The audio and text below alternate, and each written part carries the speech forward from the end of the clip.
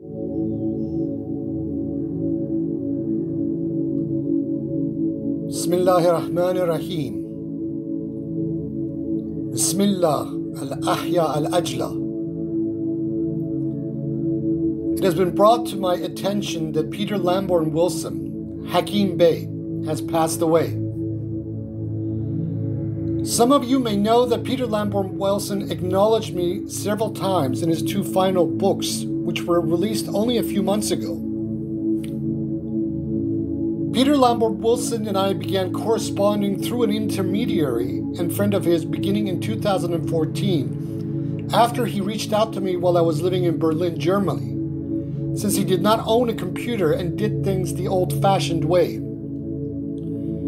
Inspired by some of my writings and translations of Bayani texts, in 2019, Peter Lamborn Wilson formally requested to enter the Bayan and was simultaneously made an honorary member of the Fatimiyya Sufi order. I first encountered Peter Lamborn Wilson's writings in 1990 as an undergraduate freshman at the University of New Mexico.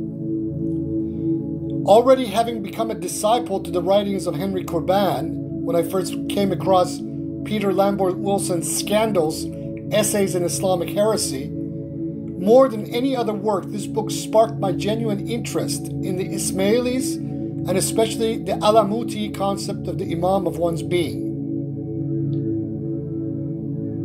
In 1995, I briefly met Peter Lamborn Wilson at the annual gathering of the Muhyiddin Ibn Arabi Society in Berkeley, California, where he gave a presentation that would later form the first essay of his Shower of Stars, the initiatic dream in Sufism and Taoism. That book resonated with me because of a few of my own initiatic experiences in the imaginal world of the dreaming. His notion of the, of the temporary autonomous zone, TAZ, and ontological anarchy has also gone a long way in helping me formulate my own political theory of theophanocracy.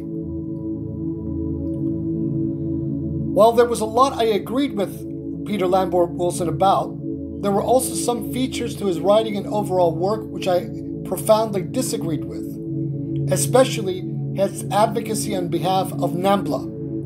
Although I am of the mind that this latter feature may have possibly been a kalandari and malamati form of warding off people and preventing himself from becoming a guru, an unnecessary focus of adoration by bringing blame upon himself as an initiatic act.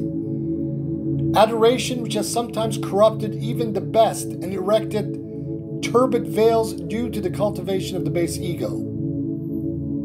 Nevertheless, for whatever of his faults, lapses, omissions, and commissions, in my book, Peter Lamborn Wilson left a positive legacy to this world and leaves this life as a believer, a woman in the light of the Bayan the primal point, his letters of the living, and Subh-i-Azal, which he acknowledges in his two final books published this year. Although I am not a P.L. Wilsonian, in a sense, I feel his acknowledgement of myself, the Bayan, and the FSO was a sort of passing of the mantle. I would have liked to see Peter Lamborn Wilson live longer and write and publish some more, but the Lord of all being and mistress of all life, opened a new chapter for him in the book of destiny in the afterlife. Peter was 77 years old, i.e., the abjad numerical value of Ya Allah, and he was considered by me a letter of the Nur. The light of the All High be upon him in every moment, before every moment, and after every moment. Bismillahir Rahmanir Rahim.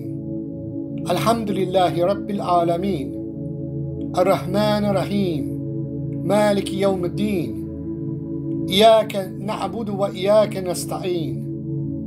اهدنا الصراط المستقيم. صراط الذين أنعمت عليهم غير المغضوب عليهم ولا ضالين. وإن لله وإنا إليه راجعون.